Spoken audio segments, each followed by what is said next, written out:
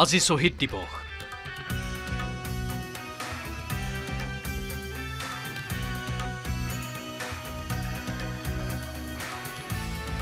অসম আন্দোলনৰ শ্বহীদক সশ্ৰদ্ধ স্মৰণ। অসম আন্দোলনৰ শ্বহীদৰ ত্যাগ আৰু বীৰত্বক ৰাজ্যজুৰি স্মৰণ।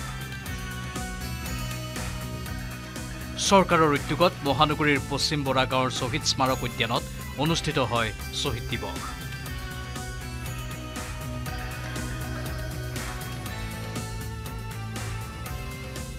অনুষ্ঠানত অংশগ্ৰহণ কৰি উদ্যানখনৰ বাজেট চৌৰান্নব্বৈ কোটি টকালৈ বৃদ্ধিৰ কথা ঘোষণা কৰে মুখ্যমন্ত্ৰীয়ে। অনুষ্ঠানত শ্বহীদ পৰিয়ালৰ কল্যাণৰ অৰ্থে বহুকেইটা গুৰুত্বপূৰ্ণ ঘোষণা কৰে মুখ্যমন্ত্ৰীয়ে। অসম চৰকাৰে শ্বহীদসকলৰ পৰিয়ালক সংস্থাপন আৰু শ্বহীদসকলৰ পৰিয়ালক আমি স্থায়ী ৰূপত তেওঁলোকৰ কাষত থিয় হ'বলৈ শ্বহীদ আৰু নিৰ্যাতিত ন্যাস গঠনকে ধৰি আমি বহুতো প্ৰচেষ্টা হাতত লৈছোঁ। মই আশা কৰোঁ খুব কম সময়ৰ ভিতৰতে আমাৰ এই শ্বহীদ স্মাৰক ক্ষেত্ৰত নিৰ্মাণ হৈ উঠিবলগীয়া শ্বহীদ স্তম্ভ আৰু শ্বহীদ উদ্যানখনেও আমাৰ জাতিটোক ভৱিষ্যতৰ যুঁজসমূহৰ বাবে সাহস আৰু প্ৰেৰণা যোগাই যাব। অনুষ্ঠানত অসম আন্দোলনৰ স্মৃতি ৰোমন্থন কৰি আৱেগিক হৈ পৰিল অসম চুক্তি ৰূপায়ণ মন্ত্ৰী অতুল বৰা।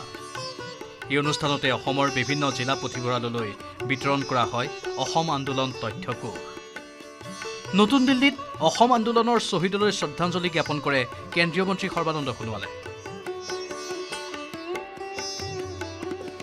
স্বদেশ স্বজাতিৰ অস্তিত্ব ৰক্ষাৰ মহাসন্দিক্ষণত শ্বহীদৰ অতুলনীয় ত্যাগ আৰু সাহসক স্মৰণ কৰে সোণোৱালে। সমান্তৰালভাৱে সদৌ অসম ছাত্ৰ সন্থাৰ উদ্যোগত ৰাজ্যজুৰি পালিত হয় শ্বহীদ দিৱস। তিনিচুকীয়া জিলা ছাত্ৰ সন্থাৰ উদ্যোগত আৰু ডিগবৈ আঞ্চলিকৰ সহযোগত ডিগবৈ মুলিয়াবাৰীৰ খেলপথাৰত কেন্দ্ৰীয়ভাৱে শ্বহীদ দিৱস পালন কৰে আছুৱে।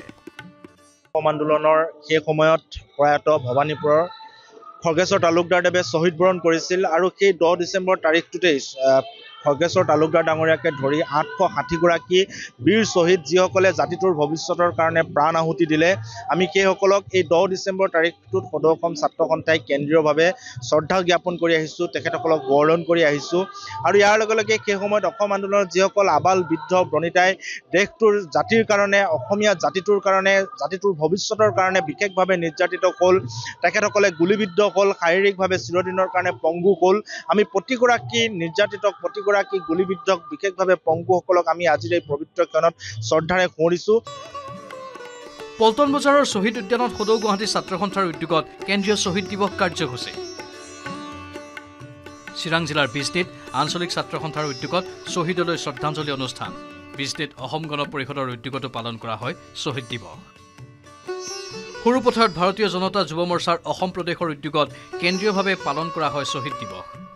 পবিত্ৰ দিনটোত সৰুপথাৰ নগৰৰ চাৰিটাকৈ পথ শ্বহীদৰ নামত নামাকৰণ আৰু শ্বহীদ বেদী উদ্বোধন কৰা হয়।